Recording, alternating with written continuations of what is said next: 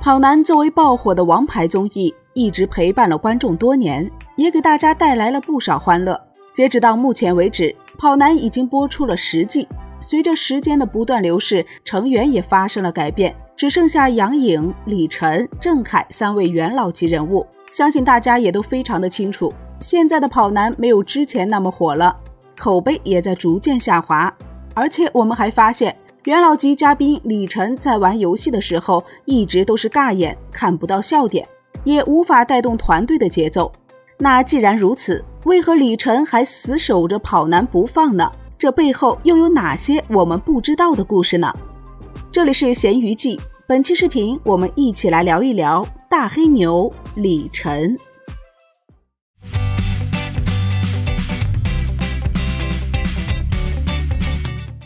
二零一四年，浙江卫视制作的大型户外竞技真人秀节目《奔跑吧兄弟》一开播就掀起了收视热潮，被网友封为年度最欢乐节目。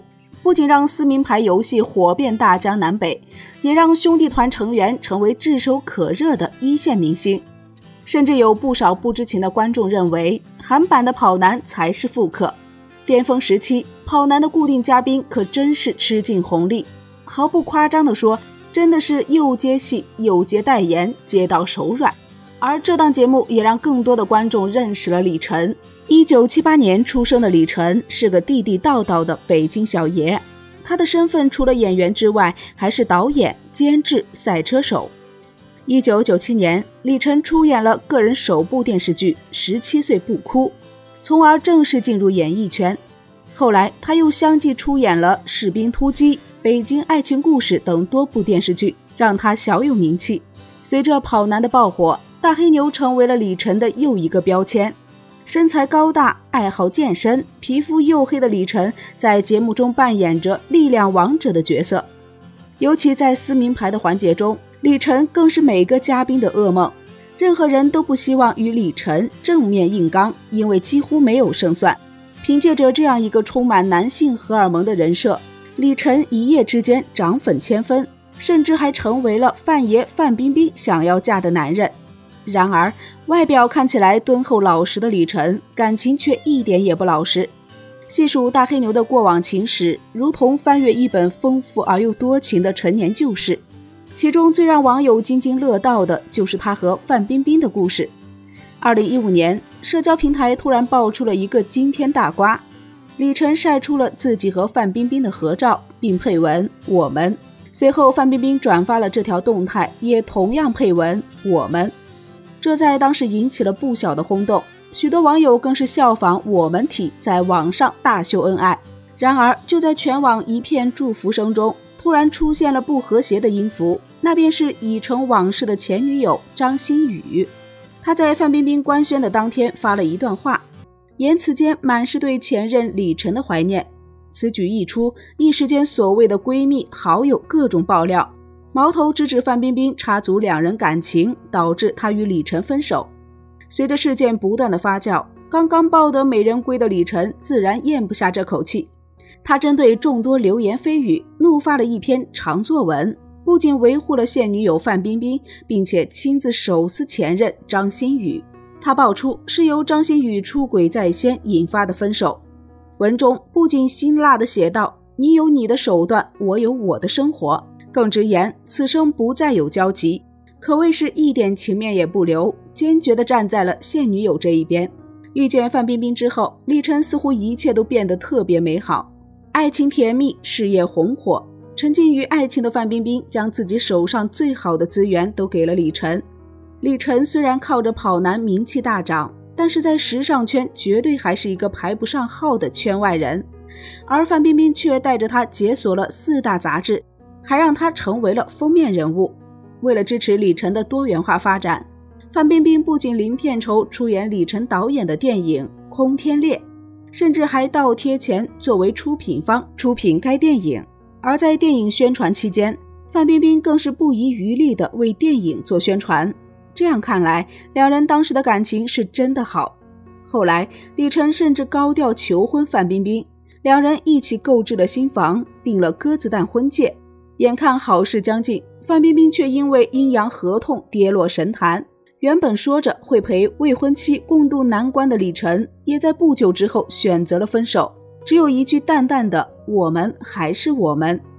在这之后，李晨的观众缘开始崩塌，网友纷纷形容这就是夫妻本是同林鸟，大难来时各自飞的真实写照。李晨的黑料开始满天飞，事业停滞不前，因此跑男成了李晨最后的救命稻草。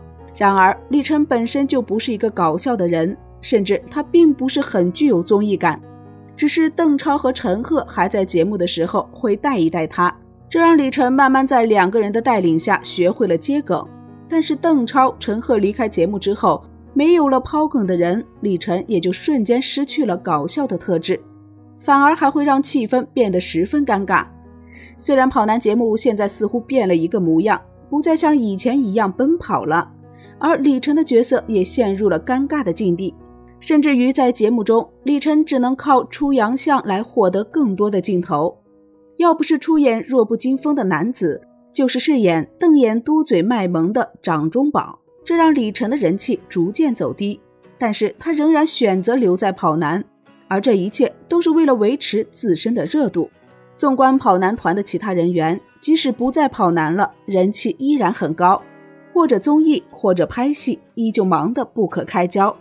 比如邓超，他本身就是一个有实力的演员，他有更多的选择。过多的综艺曝光反而限制了他的戏路，以至于观众看到邓超的电影会有点出戏。退出跑男之后，他可以更专注于演艺事业。而陈赫和王祖蓝本身就是搞笑艺人，特别有笑点，即使退出跑男，也会有其他的综艺节目。而且王祖蓝现在也更想多花点时间在家陪妻子和孩子。鹿晗作为高流量小生，并不缺资源，现在也在转型的阶段。相对于他们四人而言，李晨本身是演员，也是导演，但是在这两个方面都没有特别大的建树。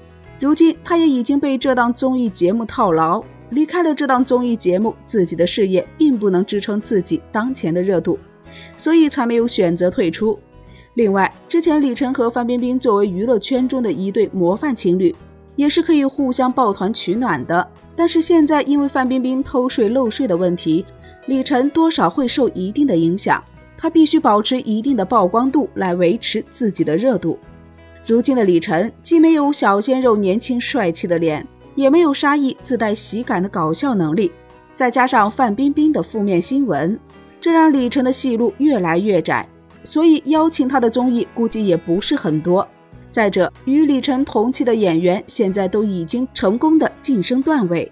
而作为最早出名的李晨，现在的处境非常的微妙，因为综艺节目而放弃自己许多影视资源，如今只能凭借综艺来提升自身的形象。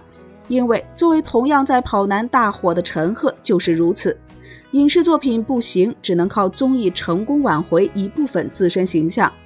如果李晨连综艺都不参加，直接选择消失在荧幕上，恐怕他的名气就会一落千丈。二零一九年对于李晨来说是充满挑战的一年。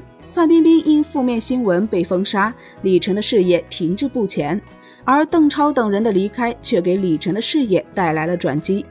众所周知，跑男之前的队长是邓超，而邓超作为跑男的队长，也起到了团队核心的作用。他非常有综艺感，控制能力也极强，非常适合跑男这档节目。但是随着邓超等人的离开，在元老人物当中，只有李晨的资历可以担当队长一职。此时的李晨就是跑男中的主心骨，就是最好的 C 位，他将成为跑男新一季的领头牛。所以李晨更加不能离开了。不可否认的是，李晨的综艺感和控场能力都不如邓超，而目前跑男的收视率也不是很理想，但还是当下热门大综艺。李晨作为元老，一季的通告费肯定少不了。如果离开跑男，李晨可能再也找不到这样一个挣钱多、有热度高的节目了。除此之外，李晨在跑男中能力者的人设站得很稳，人设不可替代。